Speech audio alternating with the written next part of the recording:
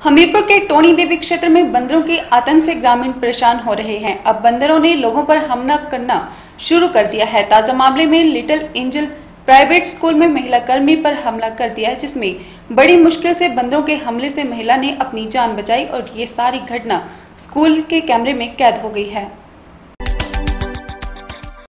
हमीरपुर के टोनी देवी क्षेत्र में बंदरों के आतंक से ग्रामीण परेशान हो रहे हैं। इन बंदरों ने लोगों पर हमला करना शुरू कर दिया है। ताज़ा मामले में लिटिल एंजल प्राइवेट स्कूल में महिला कर्मी पर हमला कर दिया है, जिसमें बड़ी मुश्किल से बंदरों के हमले से महिला ने अपनी जान बचाई। ये सारी घटना स्कूल के कैमरे में कैद हो गई है। आपको बता दें कि स्कूल कर्मी स्नेहलता गाँव नाटसी को बंदरों ने बुरी तरह से नोच डाला, जिस कारण महिला घायल हो गई। स्कूल छुट्टी होने के बाद बच्चों को छोड़कर वापस आई। महिला ने बड़ी मुश्किल से अपने आप को बंदरों के हमले से बचाया ये सारी घटना स्कूल के सीसीटीवी कैमरे में कैद हो गई है, जिससे बंदरों के हमलों को देखकर लोग भी सहमे हुए हैं। पंचायत प्रधान बबीता चौहान ने कहा कि गाँव में बंदरों के हमले बढ़ते जा रहे हैं। उन्होंने बताया कि दो दिनों से बंदरों के हमलों से घायल लोग हो रहे हैं। उन्होंने जिला प्रशासन से मांग की है कि क्षेत्र में बंदरों को पकड़ा जाए ताकि ग्रामीण राहत की सांस ले सके।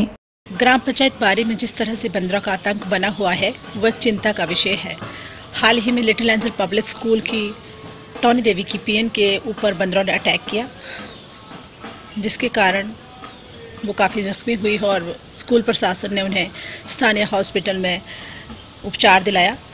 उससे भी दो दिन पहले एक और महिला के ऊपर बंदरों ने अटैक किया था। तो डे बाय डे ये समस्या जो है वो बढ़ रही है। और स्कूल में भी लगभग 600 के करीब बच्चे रोज़ आते जाते हैं तो उनके अभिभावक भी इस बात को लेकर चिंतित हैं। अतः मेरा प्रशासन से निवेदन है कि इसके लिए कुछ अच्छे कदम वो उठाएँ ताकि इलाका वासियों को राहत मिले और इन बंदरों को पकड़कर किसी ऐसे स्थान पर छोड़ा जाए जहाँ पर आबादी ना हो।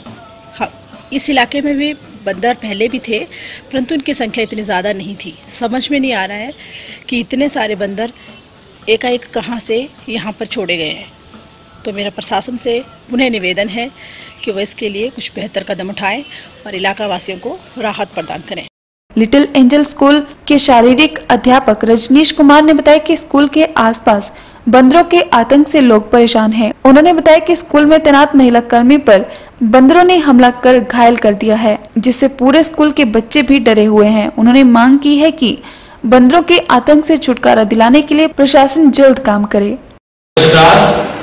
टॉनी देवी क्षेत्र के अंतर्गत वाले little angel public school Devi में बंदरों का आतंक बहुत ज़ोर से फैला हुआ है।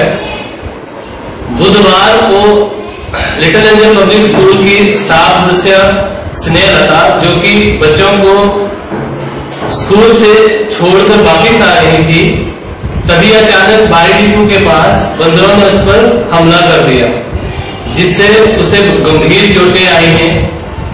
सभी अभिभावक और बच्चे इस घटना से बहुत डरे हुए हैं। वहीं स्कूल प्रधानाचार्य श्रीमती सुमन चौहान जी ने प्रशासन से मांग की है कि बंदरों के आतंक से जल्दी से जल्दी निजात दिलाई जाए, ताकि भविष्य में किसी भी बच्चे या स्टाफ के साथ ऐसी घटना दोबारा ना हो।